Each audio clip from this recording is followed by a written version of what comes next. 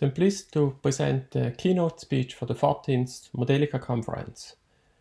My name is Michael Wetter and I'm working at Berkeley Lab and topic of my talk is how the Modelica community can support the transition to decarbonize grid flexible buildings. So I'm going to start with uh, explaining what are the main problems, then discuss what we can do about it, and what are the implications for building energy systems. Afterwards, I'm discussing a few specific Modelica related initiatives that are ongoing and uh, end the talk with uh, discussing gaps and opportunities that this community can address to accelerate the transition to a decarbonized built environment.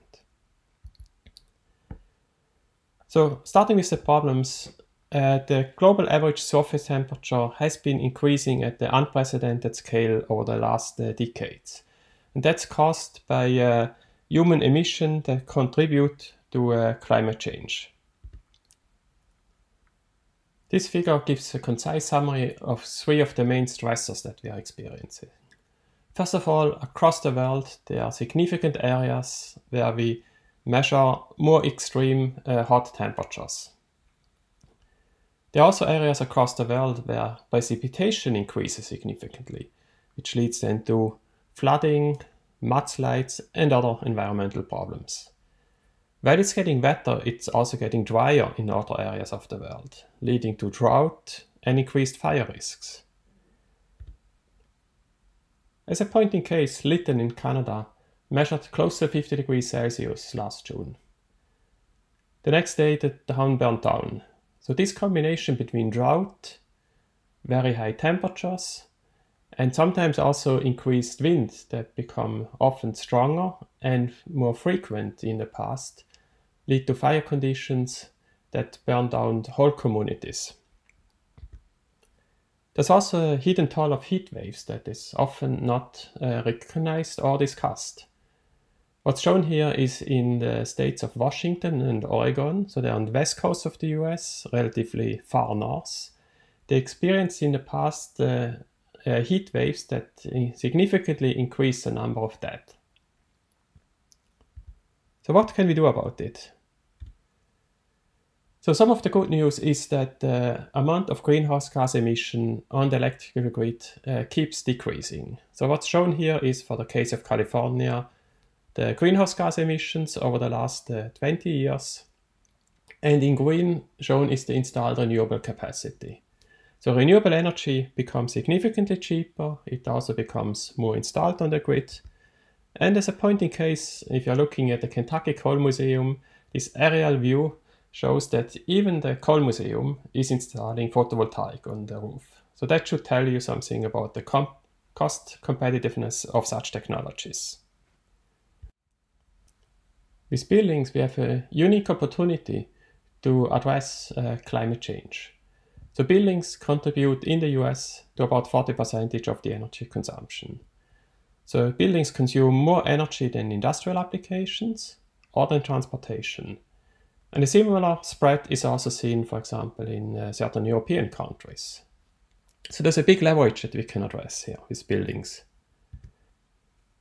So these figures give uh, two views on the main problem that we need to address. So on the top, we see the frequency distribution in terms of the hourly demand on the electrical grid over one year. So what we need to address here is we need to cut the top left part so that we can reduce the installed capacity, eliminate the use of uh, peaking power plants, which typically are dirty. So we need to cut the tail, as shown with the red curve, and that can be done through demand response and load shifting, and we need to move the curve down in terms of uh, increased efficiency.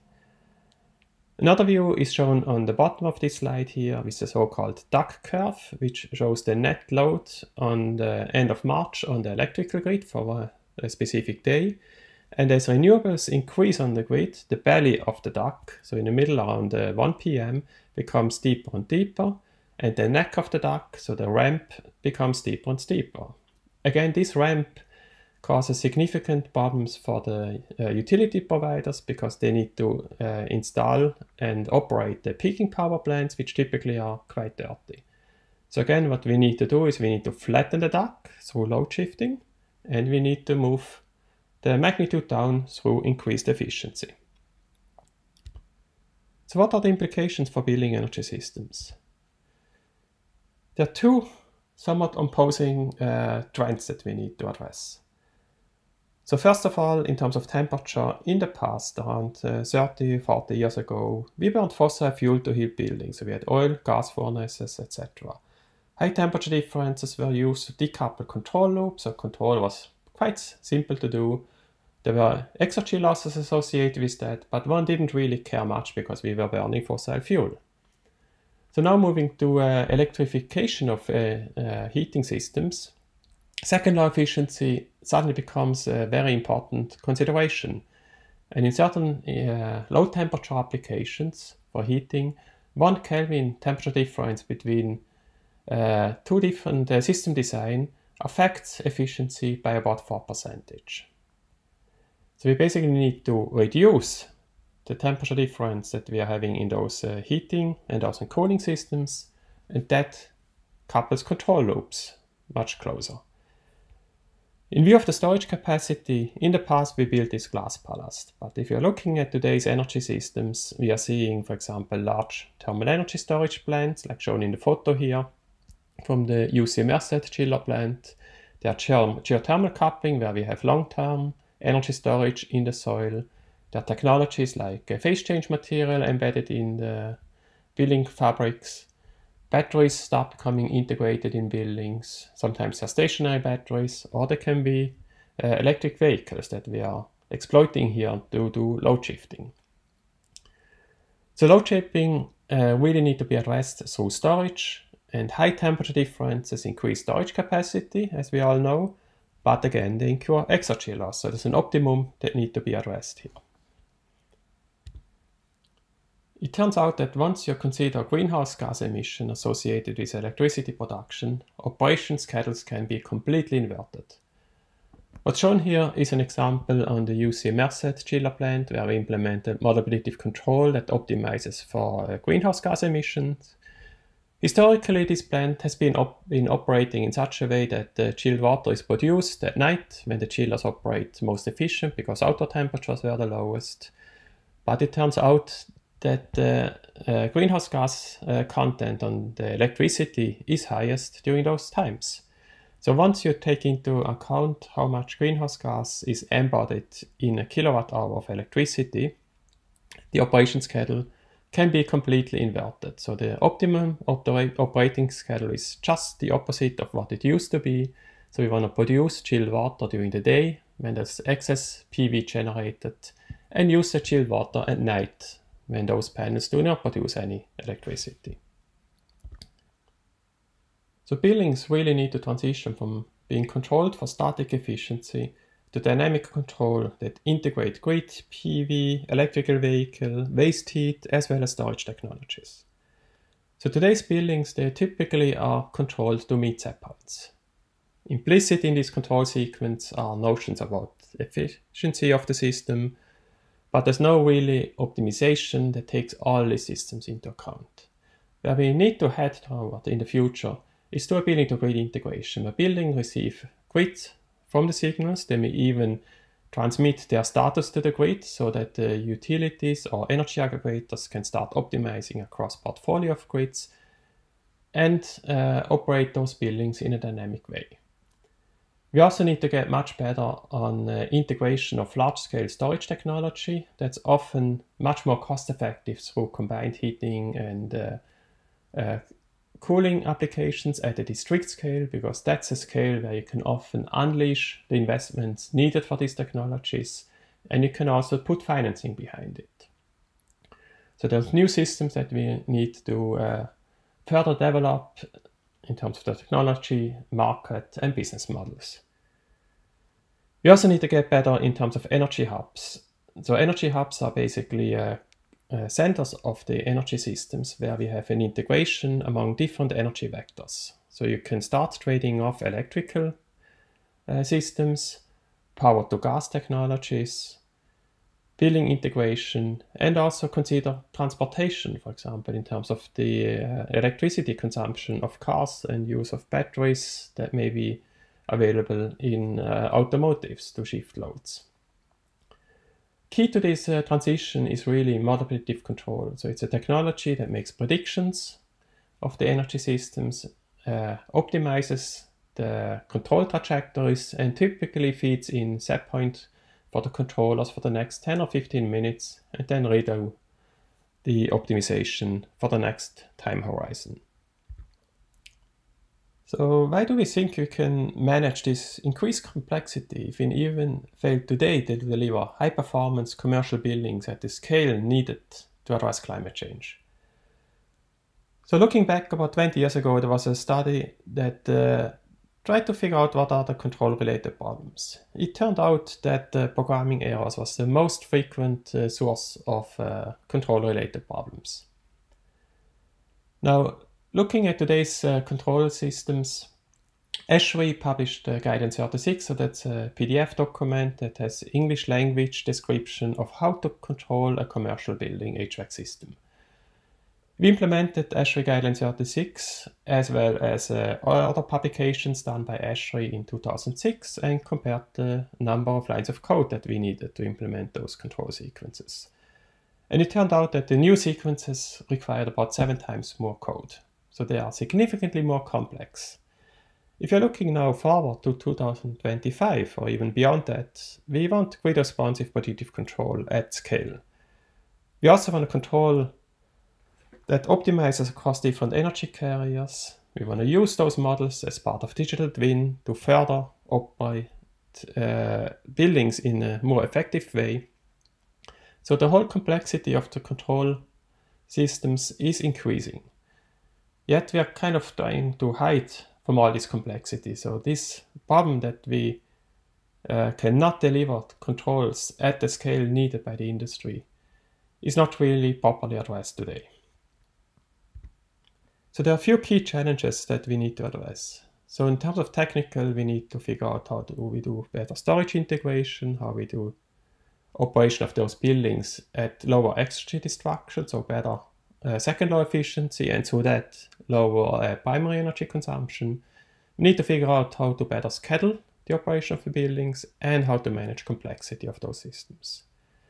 The other equally important uh, consideration in terms of the markets, we need to make sure that the market actually sends the right energy rate structure and incentive so that we have a good signals of how to operate and optimize our systems for. We need business models that unleash the investments needed for those storage technology and for efficient uh, combined district heating and cooling systems and we need to have scalable solutions. So it doesn't help if just a few PhD students crank out new approaches. We need to have approaches that eventually scale up to the building stock. So let me talk about a few key initiatives around Modelica for design and control of buildings and building energy systems. So in 2012, uh, a large team assembled and started jointly to develop Modelica and FMI related technologies under the International Energy Agency uh, Annex 60 project. So that was a five-year project that is now continued under the umbrella of IBPSA as the IBPSA Project 1. And it's continuing until the next summer. So collectively, there were about 350 person years involved in those projects and at the start of Annex 60, there were, for example, five institutes who developed their own Modelica libraries. There was a lot of duplication, there was limited scope in this library, and they were not interoperable with each other. There were also about five different APIs developed for, and quote, interoperability between simulators.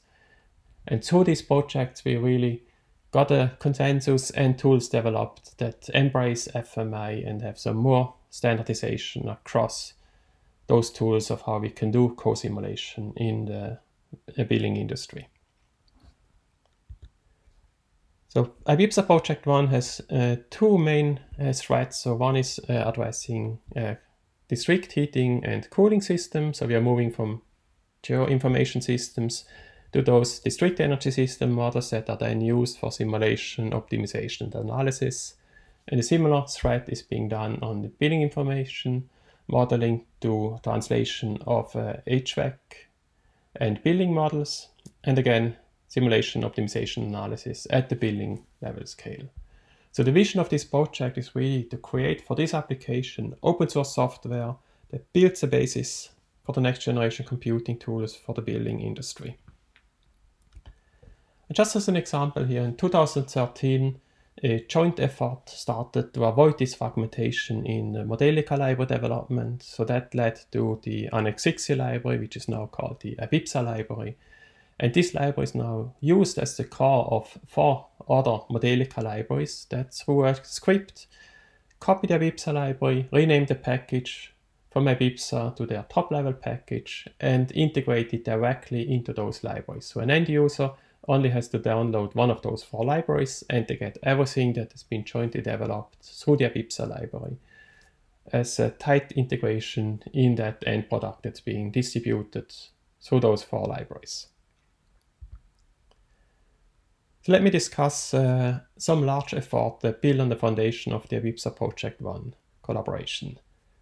The first one is the BOPTEST framework that is uh, developed within IBPSA Project 1 and the other two projects are Spawn of EnergyPlus and uh, Open Building Control. So how do you compare the performance of different control approaches? So that's what BOPTEST addresses.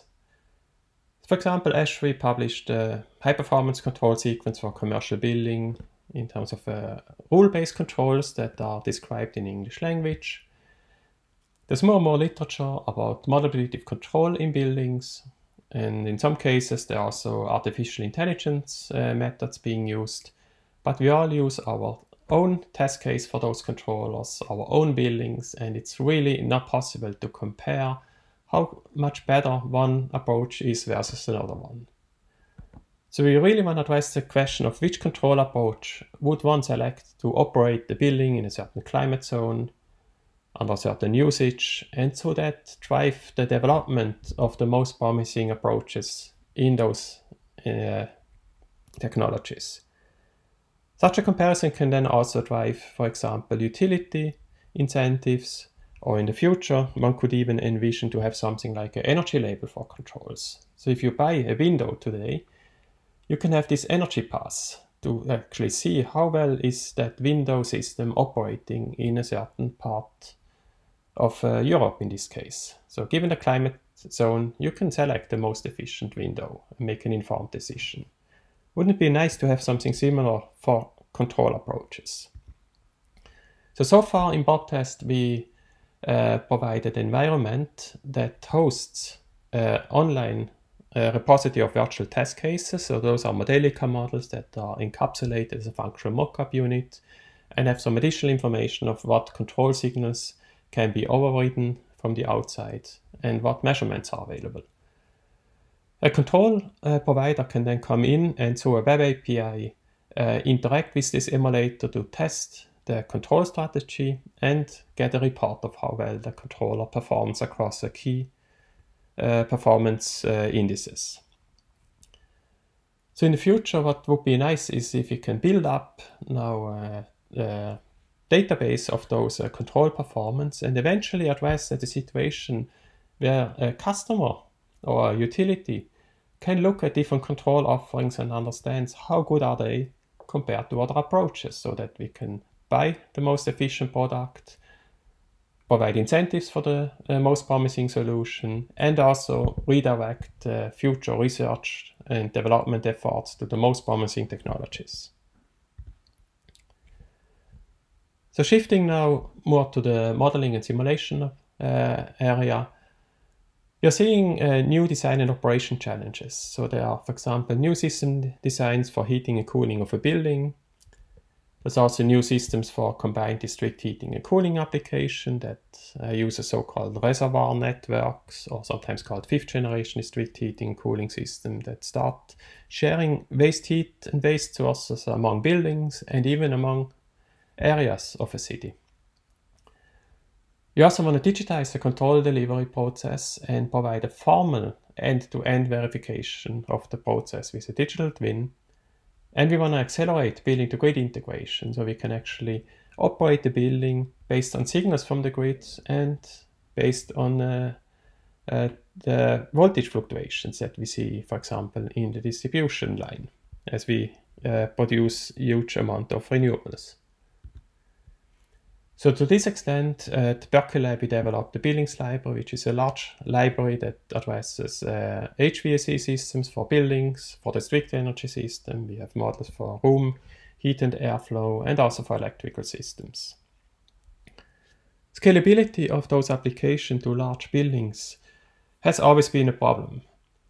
So what we are uh, working on right now is a project called Spawn of EnergyPlus, that combines the best feature of the EnergyPlus building simulation software and of Modelica. So EnergyPlus is the flagship uh, energy simulation program for buildings that has been developed by DOE. EnergyPlus has simplified assumptions built in uh, pretty deep in the uh, uh so-called simulation manager, and those assumptions uh, determine how HVAC systems are being assumed to operate within that simulator. So it's a load-based uh, simulation that is uh, very strong in building envelope simulation and in standard HVAC systems, but it has limitations uh, for integration of uh, control models and for integration of those models into a digitized uh, future control delivery process.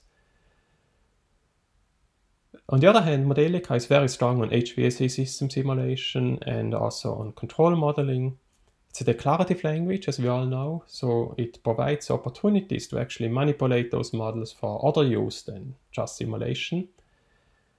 But uh, Modelica doesn't offer that many advantages when it comes to building envelope simulation. So what we are doing with Spawn of EnergyPlus is we are pulling out the best features of EnergyPlus for the envelope and load simulation, encapsulate them behind the scene as a functional mockup unit that's generated on the fly, as we uh, instantiate the model, link it up automatically to Modelica models, and then provide a simulation of those integrated system. So with Spawn of EnergyPlus, we are also distributing the Optimica compiler, so that's work that's in development right now, but you can use any Modelica compliant uh, modeling and simulation environment for this workflow.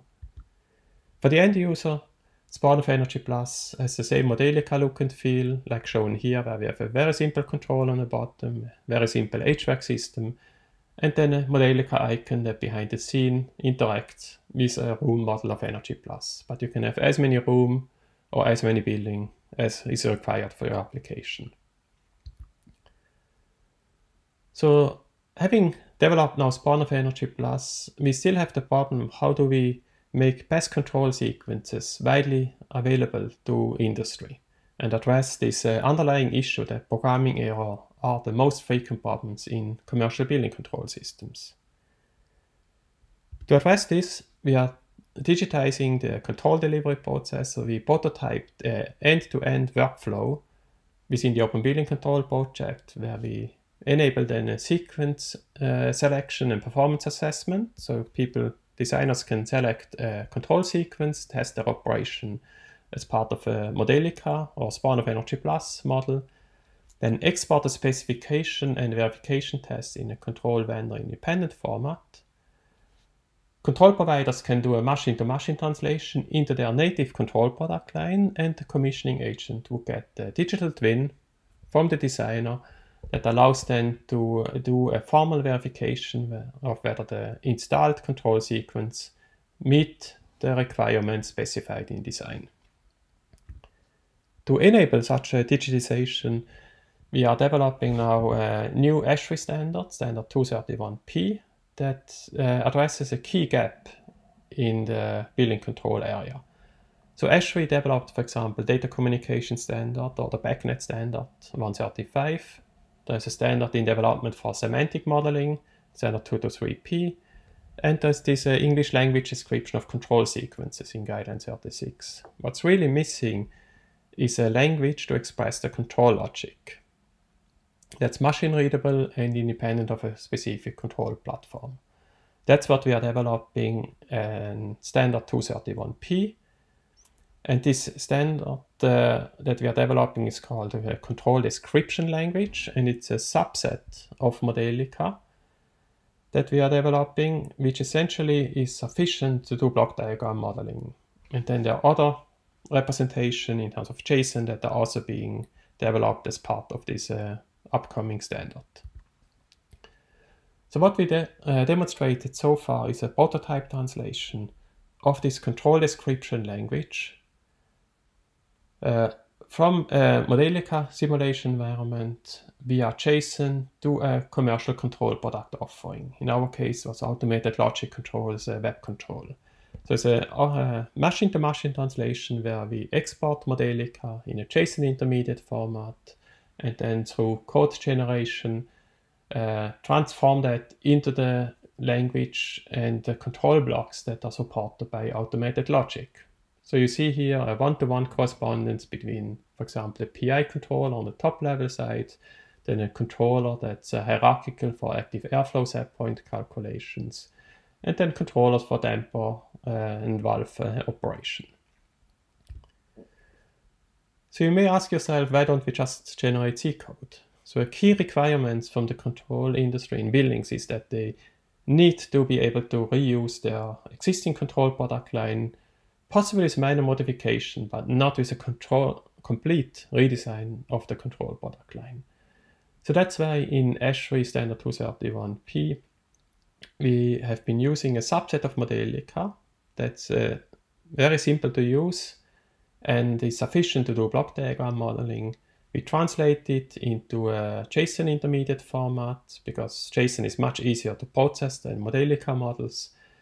And from there, uh, control providers can then develop their translator to their uh, proprietary product lines. At the same time, we enable, because we do use a subset of Modelica, the toolchain that would allow the next generation control product lines to embrace and use, for example, FMI or EFMI standards and go directly via code generation to implementation. So let me talk about what are the gaps and opportunities to improve Modelica for the billing industry. First of all, uh, what we are focusing today are the really the early adopters. So it's the researcher, the academics, product developers of HVAC equipment and control companies who have significant experience in most cases and resources to do uh, uh, model development and simulation. But to really address the needs from the industry, we need to target the next group, which are the mechanical engineers. They are typically young engineers with limited experience they need to get a simulation job done in a few hours or maximum a couple of days for a large project. They generally don't have a formal background in mathematics and in system simulation, and they expect pre-configured template HVAC systems and controls to just work. So they cannot really troubleshoot the numerical problems that they, uh, may occur during simulation, and they need to have pre-configuration of those systems. So what are really the underlying problems here? So first of all, I want to stress here that buildings are large. Buildings typically have hundreds to thousands of rooms. Each may have a thermostat and dampers, there might be tens of distribution groups, and similar district heating and cooling systems, they typically serve 10 to sometimes even thousands of buildings. Today we are not really addressing uh, simulation models at that scale, because the technology does not scale up to those very large applications. So there are a few key problems for those large systems, and they're really how do we compose models, how do we parameterize them, how we do a simulation, and then a key aspect is also how do we do commissioning or quality control of the simulation, and how do we post-process the simulation results.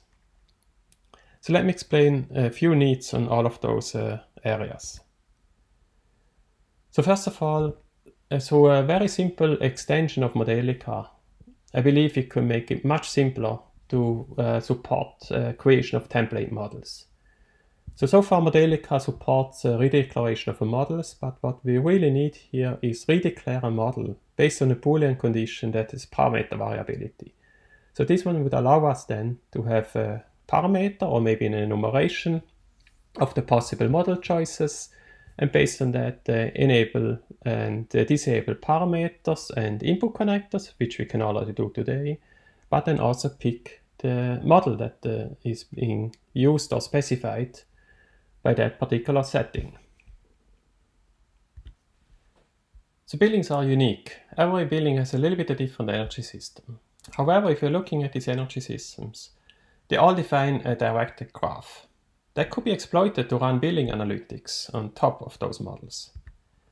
So that's exactly what the energy systems are increasingly doing. So shown here is a, a graph or semantic model of a building energy system using the brick ontology. And it declares, for example, that there's an air handler unit in a building that feeds two different uh, VAV systems. And these VAV systems have zones that feed certain rooms. And these VAV boxes also have control points, and you can query which control points are available in this system. So for real buildings, analytic becomes portable because of those semantic models. So what's shown on the top left here is such a semantic model here, indicated with uh, boxes here that represent the models from Brick. This Brick model then, or semantic model, links to a billing database that has a time series of the data. And on the bottom, we have uh, portable analytics. So you can write uh, analytics, for example, that queries which air damper is being stuck or which zone does not meet the set point. Or you can ask, for example, what's the baseline energy consumption of that building? So all this analytics is written independent of a specific building, but rather based on semantic queries that are then run on a semantic model that links up to the time series of a specific building. So through that mechanism, the whole analytics becomes portable across different buildings. So something similar could be done for Modelica. We prototyped the semantic model export from Modelica to Brick. So shown here is a snippet here where we have a heating coil, a cooling coil and a supply fan. And we can now export eh, a Brick model for that system. And what we want to do in the future is running queries, for example, for all the cooling coils. Is the fan operating when the water flow rate is bigger than 1% percentage of design flow rate? So that could be used to test, for example, whether the controls is implemented correctly. Similar, we could ask or want to ask whether for all rooms that are too cold, is in the air handler unit the position of the heating valve really at least 90%? And is the supply water temperature within 1 Kelvin of the design value? And maybe we want to average those uh, time series over the last 10 minutes. So by being able to write such expressions, we could quickly ensure that the quality of our model is really meeting what we uh, wanted to uh, implement in the first place. Another feature that would significantly facilitate the post-processing of models are to apply operators to a selection of variables within certain properties. So consider a fan. A fan in our library is a flow machine that has a medium associated to it, and we could envision, for example, if Modelica supports such annotations, to also say that a certain variable is power, or more specifically, it's electrical power. So if we are using this fan now in an HVAC system, we assign a medium, typically air, and what we want to accomplish then at the end is to sum up all the electrical consumption of all fans in that HVAC system. So it would be nice if you can write queries, for example, select all the instances from a HVAC system where the type is electrical power and the class that contains this type is part of the package flow machine and it has an instance of medium air. So we know it's a fan as opposed to a pump. And then we can sum up all the electrical consumption of every in this system. So Modelica is very strong in supporting multiple engineering domains, multiple mathematical domains, various applications in terms of hardware in the loop, simulation and design, but it doesn't scale up yet to very large system models. So we really need to get Modelica to the point where uh, it becomes competitive with domain-specific simulators.